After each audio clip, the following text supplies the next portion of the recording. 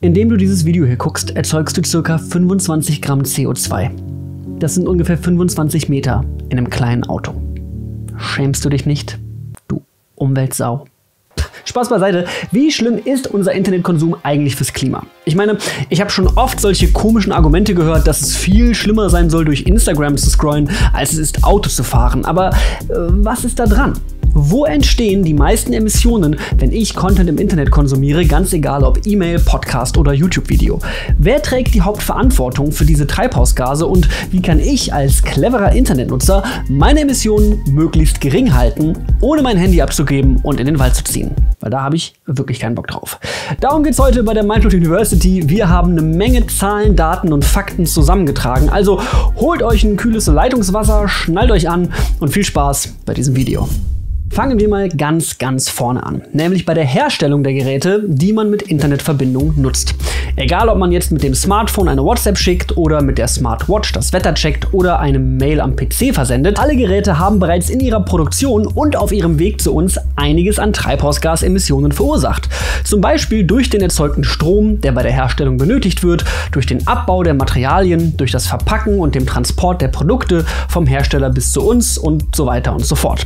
Die Herstellung der Geräte macht sogar zwei Drittel bis drei Viertel der CO2-Emissionen aus, die im Kontext Internet entstehen.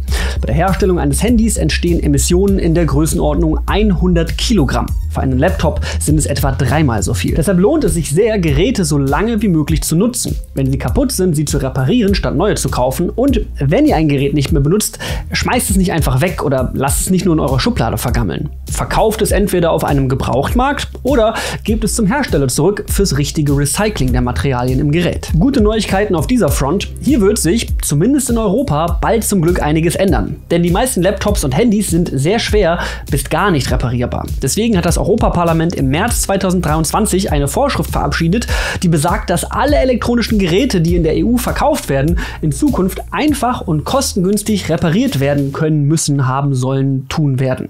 Das war Futur 9, glaube ich. Auch Batterien müssen ab 2026 oder 2027 easy herausnehmbar und austauschbar sein und das wird eine Menge elektronischer Geräte weitaus nachhaltiger machen, als sie das heute sind.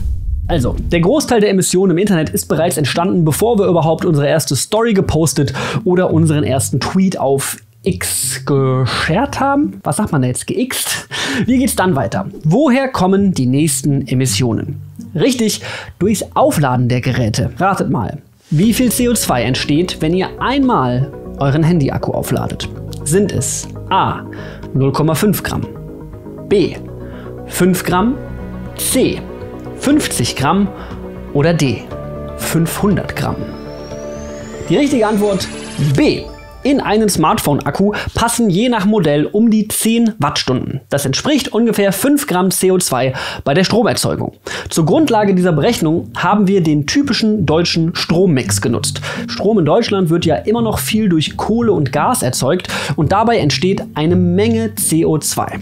Aber solltet ihr zu Hause irgendwie Strom aus nachhaltigen Quellen beziehen, zum Beispiel durch eine PV-Anlage auf dem Dach oder Balkon, geht dieser Wert natürlich gen Null. Ein Handy aufzuladen erzeugt also etwa 5 Gramm CO2 pro Aufladung, was pro Jahr auf ca. 1,8 Kilogramm rauskommt, wenn man jeden Tag sein Handy einmal von 0 auf 100 volllädt.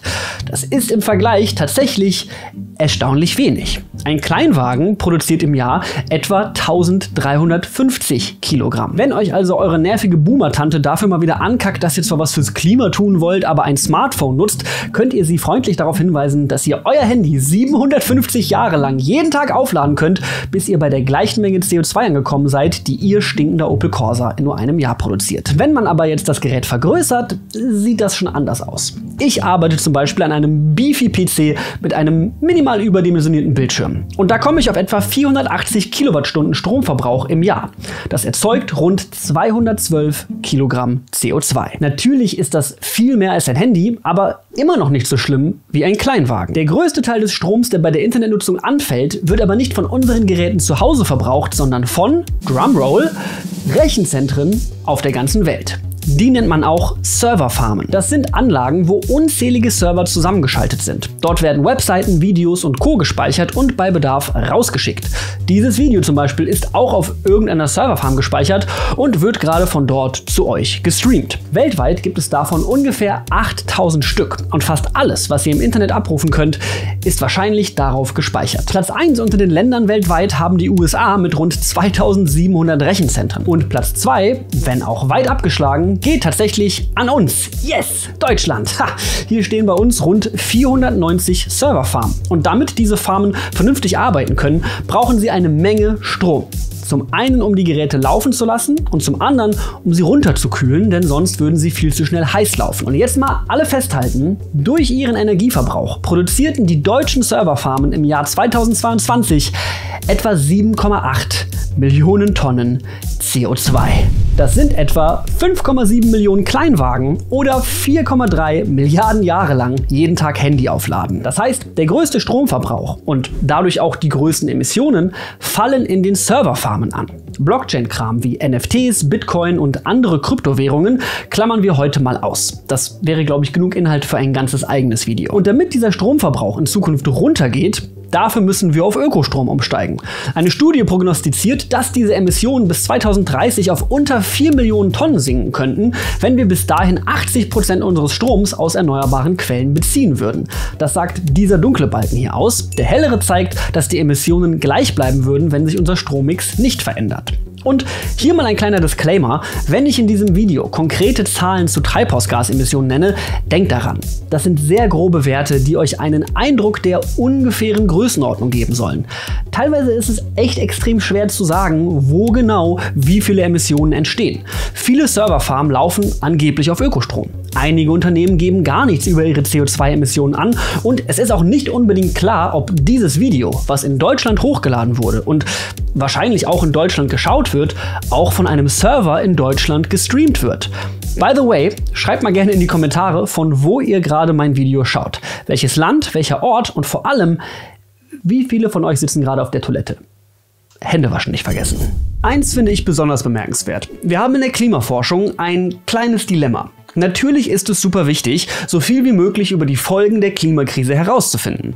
Dafür benutzen Forschungsteams unter anderem leistungsstarke Computer, die verschiedene Klimamodelle durchrechnen sollen. Aber spätestens seitdem ihr auf dieses Video hier geklickt habt, wisst ihr auch, dass die Nutzung von Computern und Servern und all dem so einiges an CO2 verursacht. Und das nicht nur wegen des Stroms, gebaut werden müssen solche Maschinen ja auch erstmal und das ist rohstoffintensiv. Das heißt, wäre eine gute Sache, wenn unsere Computer, kleine und große, möglichst umweltfreundlich hergestellt werden. Und Lenovo, der Sponsor dieses Videos, hat sich da so einiges an Innovationen überlegt. Wo immer möglich setzt die Firma auf nachwachsende oder recycelte Rohstoffe. Fast 300 Produkte enthalten heute schon recycelte Elektronik. Bis 2025 sollen 100% aller PC-Produkte aus recyceltem Material bestehen. Und noch dieses Jahr will Lenovo alle Verpackungen aus recyceltem oder nachwachsendem Material herstellen. Pappe, klar, aber auch moderne Materialien aus Bambus und Zuckerrohr. Und für Lenovo besteht das Notebook der Zukunft nicht nur aus recycelten Rohstoffen, sondern ist zusätzlich modular aufgebaut, damit es einfacher aufzurüsten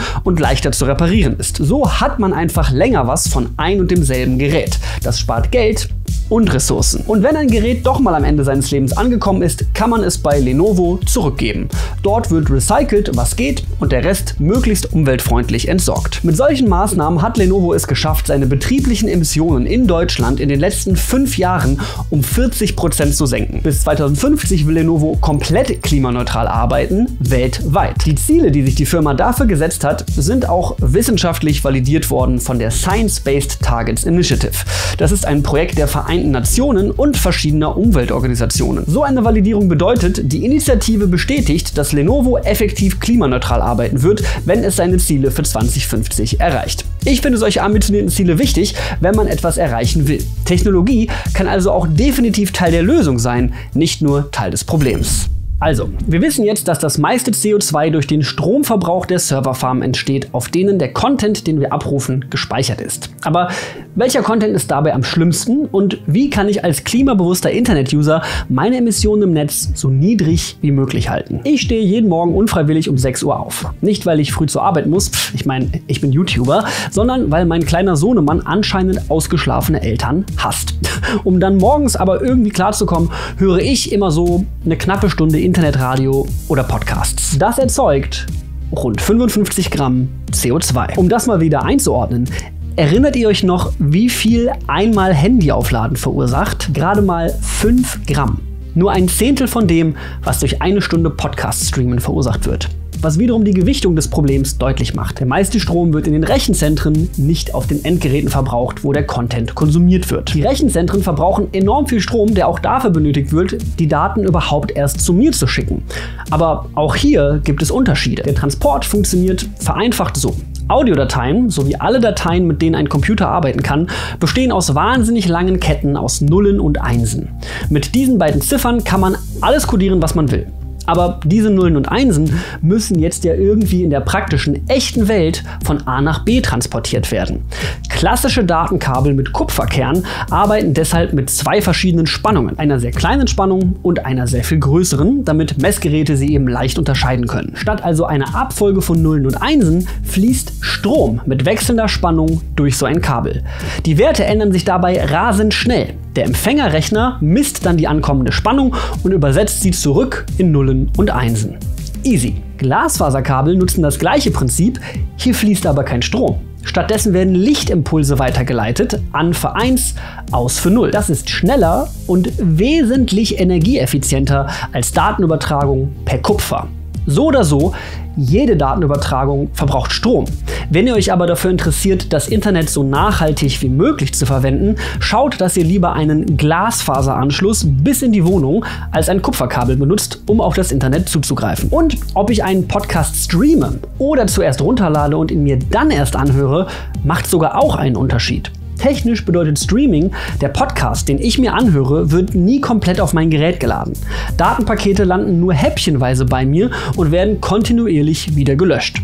Einerseits spart das Speicherplatz, andererseits verbraucht Streaming im Schnitt mehr Strom auf Serverseite als ein normaler Download.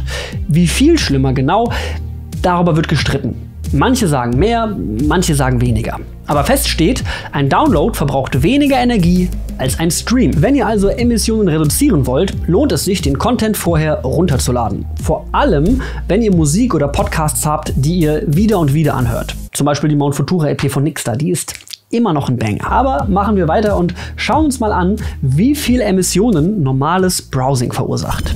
In meinen Videos steckt viel Recherchearbeit. Den Beweis dafür findet ihr in der Infobox. Dort sind immer alle Quellen für all meine Aussagen aufgelistet. Aber diese Informationen muss man ja erstmal finden. Los geht das meistens mit einer Internetsuchanfrage oder 12.000. Jede dieser Suchen entspricht einer Serveranfrage und ihre Bearbeitung verbraucht Strom und entspricht damit einer kleinen Menge CO2. Wie viel genau ist eine komplizierte Frage. Google selbst sagte schon 2009, dass eine Suchanfrage rund 0,2 Gramm CO2 verursachen würde. Und das ist der aktuellste Wert, den wir finden konnten. Von 2009. Da sah ich noch so aus und habe schon meine ersten YouTube-Videos hochgeladen.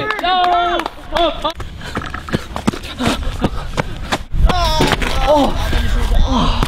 900 Views. Absoluter YouTube Classic. Andere Schätzungen kommen für Google-Suchanfragen locker auf das 10- oder 20-fache. Die Wahrheit liegt wahrscheinlich irgendwo dazwischen. Am meisten stößt man da auf den Wert 7 Gramm CO2 pro Suchanfrage. So viel entsteht übrigens auch, wenn man sich Wasser für eine Tasse Tee aufkocht. Klicke ich auf eins der Suchergebnisse und lade die entsprechende Website, verursacht das etwa 4 Gramm CO2. Manche Webseitenbetreiber achten auf die Datenmengen, die beim Besuch ihrer Seite geladen werden. Das kann bedeuten, dass man nur stark komprimierte Bilder und Videos hochlädt und davon davon so wenig wie möglich. Und es gibt auch einzelne Firmen, die möglichst grüne Alternativen zu Mainstream-Diensten anbieten. Suchmaschinen zum Beispiel.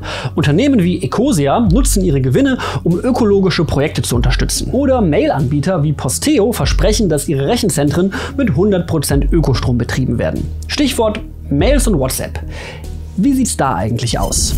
Wenn ich eine E-Mail verschicke, werden Daten von meinem Rechner auf den Server meines E-Mail-Anbieters übertragen. Von dort aus werden sie weiter verschickt an den Server des Anbieters der Person, an die ich die Mail verschicke. Das klingt jetzt stelzig, aber praktisch heißt das, wenn ich eine Gmail-Adresse habe und du eine GMX, sind mindestens zwei verschiedene Server involviert, wenn ich dir eine Mail zusende. Schicke ich eine Mail an mehrere Personen, die verschiedene E-Mail-Anbieter haben, wird meine Mail logischerweise auch an deren verschiedene Server weitergeleitet. Spätestens mit dem Öffnen der Mail wird sie dann auf den Zielcomputer runtergeladen. Eine durchschnittliche E-Mail verursacht dabei etwa 4 bis 10 Gramm CO2. Wenn sie einen großen Anhang hat, also vielleicht ein Bild oder mehrere, dann sogar bis zu 50 Gramm CO2. Das klingt jetzt erstmal nicht so mega viel, auf der Welt werden aber verdammt viele E-Mails verschickt. Im Jahr 2022 waren es im Schnitt mehr als 333 Milliarden am Tag. Ironischerweise verursacht ein Brief, der per Post verschickt und mit dem Auto durch Deutschland gefahren wird, im Schnitt 20 Gramm CO2. Eine E-Mail und ein Brief nehmen sich von der Umweltbilanz kaum etwas. Aber ich verrate euch gleich eine Methode, die viel nachhaltiger ist. Dabei kostet nicht nur der Versand von E-Mails Strom, auch das Speichern. Das heißt, je voller ein E-Mail-Postfach ist, desto mehr Energie wird gebraucht. Wenn du jetzt vielleicht an dein Postfach voller ungelesener E-Mails und Spam denkst, du bist damit nicht allein. Rund 80% aller E-Mails werden nämlich nie geöffnet und liegen einfach auf den Servern rum. Das ist ganz schön viel Datenmüll, der unnötig CO2 produziert. Ich schließe mich da nicht aus, ich bin ein absoluter Messi, was meine E-Mail-Postfächer angeht und ich meine nicht den Goat. Deshalb Alte E-Mails löschen und den Spam-Ordner leeren ist definitiv nicht verkehrt. Das gilt für alle Online-Speicher. Wenn ihr zum Beispiel ohne Ende Fotos und Videos in eurer Cloud liegen habt, die ihr sowieso nicht anguckt oder benutzt, verbraucht das auch Strom und erzeugt unnötig Emissionen. Guter Vorsatz für mich nach diesem Video, E-Mails und Cloud-Dateien löschen. WhatsApp und andere Social Messenger funktionieren nach einem sehr ähnlichen Prinzip. Auch hier werden Text, Bilder und Videos auf Servern gespeichert und übertragen. Allerdings haben sie den kleinen Vorteil, dass hier in der Regel alles über einen einzigen Server abgewickelt wird. Meine Nachricht wird auf dem WhatsApp-Server gespeichert und von dort aus auf das Handy der anderen Person oder Personen geladen. Also so ganz grob und theoretisch erklärt. Wie viel CO2 genau bei einer Nachricht über WhatsApp WhatsApp und Co. entsteht, das lässt sich nicht eindeutig sagen. Wahrscheinlich etwas weniger als eine E-Mail, abhängig von der Textmenge versteht sich. Und die ist bei einer Instant Message natürlich tendenziell kleiner als bei einer Mail. Übrigens, von allen textbasierten Kommunikationsarten verursachen SMS wohl am wenigsten CO2. Das liegt unter anderem daran, dass sie nicht über das Internet verschickt werden, sondern über das Mobilfunknetz. Und es handelt sich auch um reinen Text ohne Formatierungen. Je nach Berechnung kommt eine SMS auf gerade mal 0,01 Gramm CO2. Das sind etwa 1000 mal weniger als eine E-Mail. Wer also so richtig nachhaltig kommunizieren will, benutzt die gute alte SMS. Inzwischen sind die ja in den meisten Tarifen inklusive und kosten nicht mehr 9 Cent pro Stück. Ja, so alt bin ich, dass ich das noch erleben musste. Aber kommen wir jetzt zum heiligen Gral des Internets. Netflix, YouTube und Co. Wie schlimm ist Videostreaming fürs Klima? Ratet mal. Welchen Anteil haben Videos ausgemacht am weltweiten Internet-Traffic 2022? Sind es A 26%, B 46%, C 66% oder D 86%? Loggt eure Antwort jetzt ein. Die richtige Antwort gibt's in 3, 2, 1. Knapp 66 Prozent. Also zwei Drittel des Internet-Traffics gehen auf Videos, Tendenz steigend. YouTube allein macht knapp 11 Prozent dieses Traffics aus. Das wird nur getoppt von Netflix mit knapp 14%. Prozent. Und der Rest sind wahrscheinlich Pornos. Aber jetzt mal im Ernst, eine Stunde Videostreaming in Full HD kann ungefähr 100 bis 175 Gramm CO2 verursachen. Ungefähr so viel wie einen Kilometer mit einem kleinen Auto zu fahren oder sein Handy 20 bis 35 Mal aufzuladen. Ein Video in 4K zu schauen erzeugt im Schnitt dreimal so viel CO2 und im Extremfall sogar sechsmal so viel. Schreibt mir da gerne mal in die Kommentare, auf welcher Auflösung ihr meine Videos guckt. Problem ist hier, dass Videos von allen genannten Contentformen am meisten Speicherplatz auf den Serverfarmen kosten kosten. Aber was kann man dagegen tun, um nachhaltiger Videos zu schauen? Und wer ist hier eigentlich verantwortlich? Ich bin ganz ehrlich, ich habe mir diese Fragen auch gestellt. Ich meine, ich lade seit ungefähr 15 Jahren Videos auf YouTube hoch. Am Anfang war es einfach nur aus Spaß und heute ist das glücklicherweise mein Job. Aber wer hat Schuld an den Emissionen meiner Videos? Ihr, die Zuschauerinnen und Zuschauer, die das Video auf Full HD oder 4K gucken? Ich, der das Video überhaupt erst in 4K anbietet? Oder YouTube, deren Serverfarm ja den ganzen Strom überhaupt erst verbrauchen? Ich finde das gar nicht so leicht, hier eine Antwort zu finden. Aber hier kommt meine Meinung. Jeder von uns kann seinen Teil dazu beitragen, etwas fürs Klima zu tun und etwas nachhaltiger im Internet unterwegs zu sein. Handys und Laptops länger benutzen, ungelesene E-Mails löschen, Lieblingsmusik runterladen oder Videos in geringerer Auflösung gucken. Aber ich finde, das Wichtige ist, dass mehr Länder und Firmen auf erneuerbare Energien umswitchen. Und erst dann ist die größte Ursache der Produktion von CO2 im Internet gelöst. Das sehen wir ja auch an der Prognose der anfangs erwähnten Studie, dass wir hier bis 2030 die Emissionen bereits fast halbieren könnten. Und wir dürfen nicht vergessen, Technologie ist an vielen Orten bereits Teil der Lösung, muss aber noch verbessert werden. Ein Zoom-Call mit eingeschalteter Kamera ist immer noch besser fürs Klima, als für ein Meeting von Stuttgart nach Hamburg zu fliegen. Heute bin ich so richtig gespannt auf eure Kommentare. Wo liegt die Hauptverantwortung für die Emissionen, die bei der Internetnutzung anfallen? Wie viele ungelesene E-Mails liegen in deinem Postfach und waren die Tipps aus diesem Video eigentlich neu für dich? Ich habe wie immer eine Menge gelernt und hoffe, ihr auch. Ich freue mich auf eure Bewertungen und Kommentare. Bis zum nächsten Video.